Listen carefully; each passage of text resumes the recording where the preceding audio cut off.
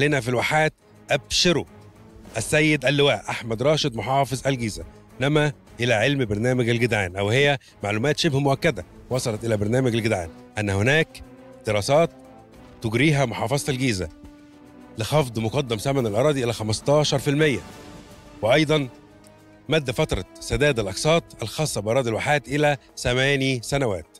إذا محافظة الجيزة تستجيب لنداء برنامج الجدعان لإنقاذ أهالي الواحات من تشدد إجراءات التقنين وخاصة بعد التعديلات التي أقرها الدكتور مصطفى مدبولي رئيس مجلس الوزراء للقانون 144 لسنة 2017 والتي أعطت جهة الولاية والمحافظين السلطة المطلقة في تحديد مقدم الثمن قيمة مقدم الثمن ومدة سداد الأقساط كمان أقرت أن الثمن المحدد لأراضي الواحات هو 25 ألف جنيه.